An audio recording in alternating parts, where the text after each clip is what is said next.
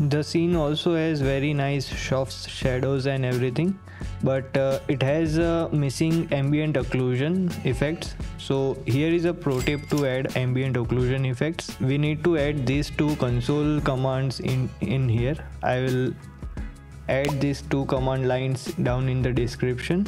We need to add it in here and hit enter. After this we need to go into post process volume and search for ambient click this to setting and to see the ambient occlusion effect go into the lit mode. In the buffer visualization click on ambient occlusion. Right. So let's decrease the radius to maybe 100 it is getting tighter maybe 50 right. So we have only ambient occlusion on these corner areas let's decrease the intensity or maybe increase it. So right now it has too much maybe 0.3 is better right? So you see we have nice ambient occlusion effects in here. Let's go into the lit mode. Let's exa exaggerate to see the effect.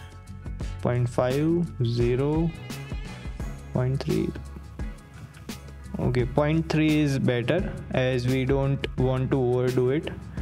So with this ambient occlusion effect we can have very nice contact shadows and it will help in the in creating more contrast and depth into our scene so it's a very nice method if you like this video then i'm sure you will like this series in this three-part tutorial series, we'll take this cafe scene and transform it into a stunning cinematic masterpiece together in Unreal Engine. I'll guide you through every step sharing pro tips along the way and to save your time, I'll timestamp the sections and pro tips down below.